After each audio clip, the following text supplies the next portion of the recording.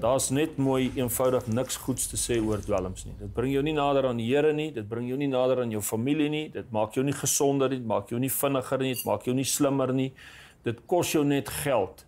Dit is soos drank. Jy syp dit in en jy sit uit. In vandag se episode van Bolhuis fokus ons spesifiek op 'n nuwe kommerwekkende tendens dat baie jong Suid-Afrikaners gewerf word om as muile op te tree en dwelms in en uit ons land te smokkel.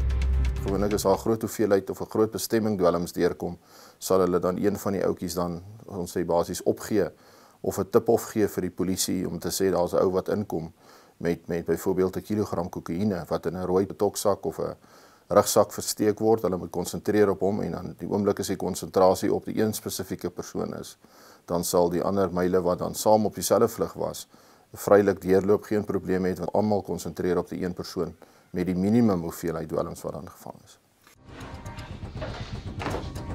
Hy sê hy was damstrak geweest. Dwelms lê verskriklik naby my, my aan die hart want dit absoluut geheel en al destrooi nie net die persoon nie, maar daai persoon kan homself of haarself nie help om almal om hom of haar te destrooi nie.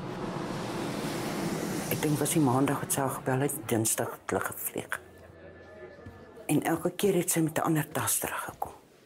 Ek het vir haar gevra of dit nie iets met Willems te doen het nie van die begin af. Dis my, my jongste kind.